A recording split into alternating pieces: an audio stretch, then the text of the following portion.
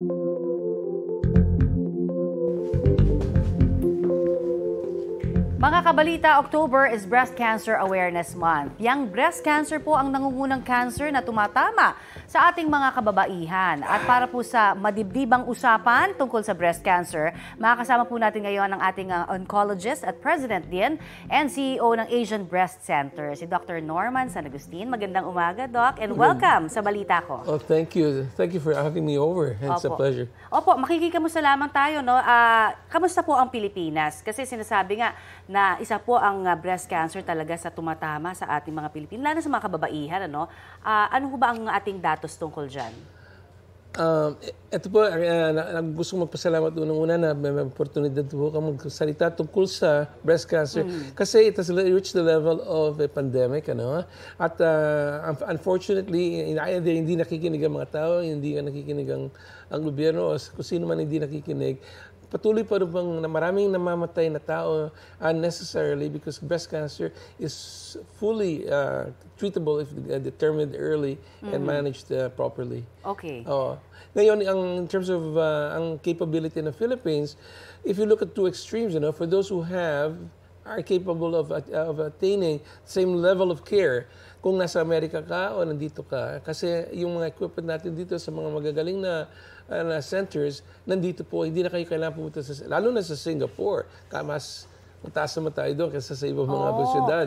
Ngayon sa Amerika, hindi ko sasabihin na, na, na pinapatay sila, natin, natin sila o mas mataas tayo sa kanila.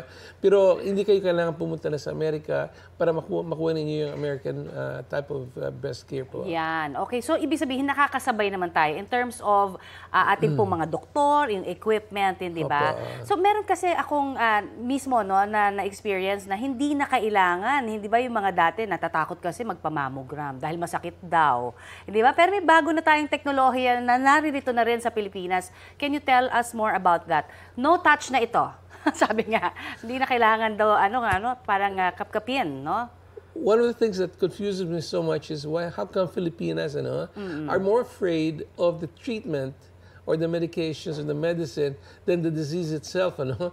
Ay, natatakot ako. Ay, masakit yan. Ay, ganito. Ay, ganyan. Kung makakatulong sa iyo, masasave ang buhay mo, gawin ninyo. No? Yes. Now, that's the initial uh, response to that. But the follow-up uh, response is, meron na tayong mga equipment na hindi naman masakit. Ano? And isa nasa equipment ko yun, isa nasa technician yon na gumagawa, at yung nag, ng doktor na nag-interpret yung, yung, yung mga ah, mga mammograms niyo, ultrasound or whatever, no? Yes. Ngayon, itong, uh, itong equipment, yung sinasabi lang masakit na masakit, yun po ay sa yung mga lumang equipment na, na ti- tinatawag na, hindi yung 3, 3D um, uh, mammography, no? Yun yung analog, ano? Talagang ini-squeeze po yung breast, ano? Iniipit. Nakakatakot nga yun, Oo. Dok. Ngayon, kung hindi kayo nagbabayad ng utang nyo sa klinika, pipinahan nila mas mga nagbayad, nagbayad, kayo, no? Ganun pala yun. Oo. Pero ito, ito Doc, kasi may pinapakita tayo kanina, parang camera lang siya eh, Obs at saka Katrina. Talagang nakita ko ito, ah, nagulat din ako na ikaw ay uupo lang, hindi ba? Hindi ka na kailangan talagang kapkapin, parang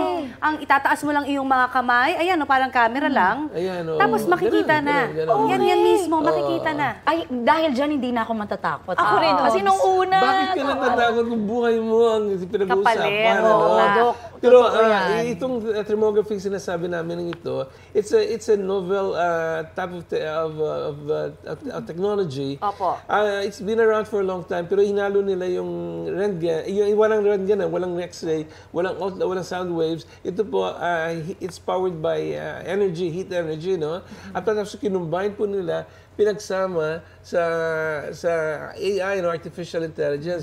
So i- very unique yung yung eh, combination ng ah, ng sa, ng heat ah, energy plus A- Okay. AI no. Ang ang maganda pa nito, ah, hindi rin siya mahal. Kasi yun pa yung isang kinakatakot Yeah, ng mga yes, kababaihan. oo. Pag magpapamamogram, wala na nga kaming budget, di ba? Dahil medyo mataas. Yung mga malalaking ano yun, equipment kasi, di ba, dati. Pero dahil sa maliit na ito, ito ho talagang affordable. Very, very affordable. At kung masyado kayo modest o may yung religion nyo na does not allow you to be examined by a man or uh, you want to, to, to, to protect Walang yourself. touch to eh. But you, no touch, no radiation. It's independent of age, kahit na batang-bata, matandang-matanda.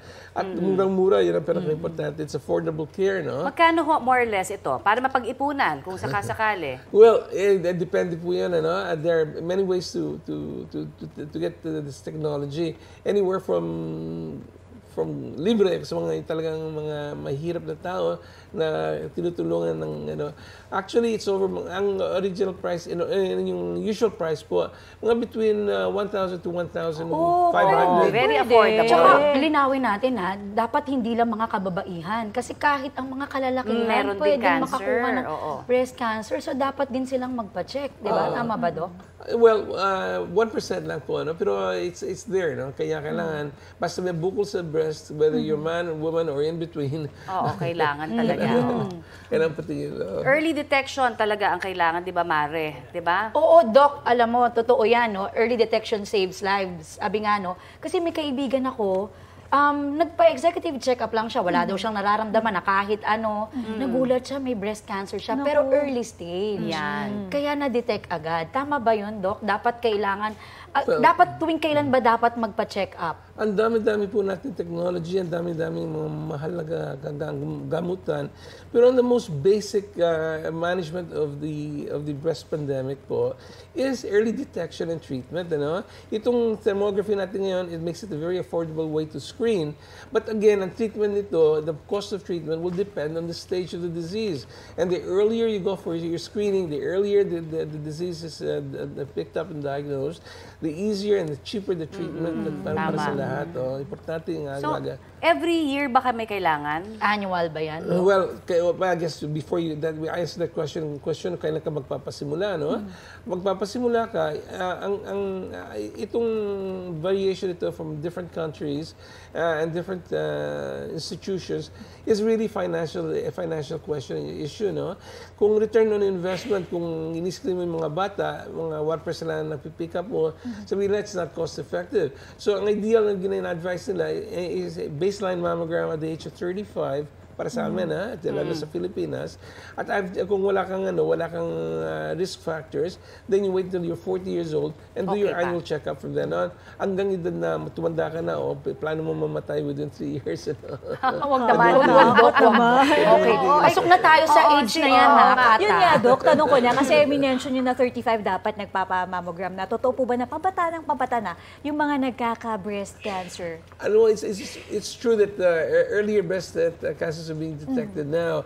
But it's a matter of percentage uh, or absolute numbers, ano? Kasi dumodoble yung population natin. Nung araw, half a million na tayo, one million na. If, uh, if ang uh, early breast cancer is only seen in mga 1 or 2%, 1% of half a million is smaller than half 1% of of what, a million and a half, ano? Kaya parang lumalaki, parang katotohanan, ah, mas maaga nagpapatingin ng mga bata ngayon versus na namamatay na sila bago sila magpatingin. They're more conscious uh, because of the internet, ano? Yes. Awareness itong breast cancer awareness. At ito rin ang gusto namin pahiwatig sa lahat ng babae, lahat ng edad. Lalo na yung mga medyo uh, may edad ng lampas naman ng 50 years old, 55. Tsaka, Isa Dok, 70 years old, hindi pa nagpapatingin. Hindi, tsaka Dok, yung may history po, di ba? Oh, yung may history, history oh, Pwede family. maipasa ito, di ba? May ba yun. Dok? Well, the biggest indication uh, for, for manage uh, for, for dapat magpatingin kayo is Filipina kayo, babae kayo, tumira, lumaki kayo sa Pilipinas, ano? And you're over the age of 30, 35. Yun by itself is a risk. One out of every four women in the Philippines will develop breast cancer. Sa America, it's one of every eight. Sa ibang lugar, it's eight of every ten. Ay, Just being a, fa- a female and living and being born in the Philippines already Yeah. automatically puts you in a high uh, risk. Ano? Ngayon, kung may family history kayo, dadagdag po po natin sa risk factors nyo. Kung mataba kayo, kung hindi kayo nagre- nagregla, Okay. uh, kung nagregla kayo maaga at mm menopause nyo late, these are many factors that you should look at. Ano? Doc, thank you so very much. Ang dami namin natutunan and of course, sabi nga, prevention is still better than cure. Magpatingin po tayo kaagad ano, sa ating mga doktor. Ayan. Thank you so very much, Wala Doc. naman po. Ayan po naman si Dr. Norman San Agustin, ang ating oncologist at president din po siya and CEO ng Asian Breast Center. Balita ko, may tututukan kayo tuwing 11 a.m. sa GTV. Alamin ang mahalagang balita at impormasyong dapat ninyong malaman sa Balita ko tuwing lunes hanggang biyernes. Mag-subscribe din po sa GMA Integrated News sa YouTube. Sa mga kapuso naman abroad, maaari po kaming masubaybayan sa GMA Pinoy TV at www.gmanews.tv.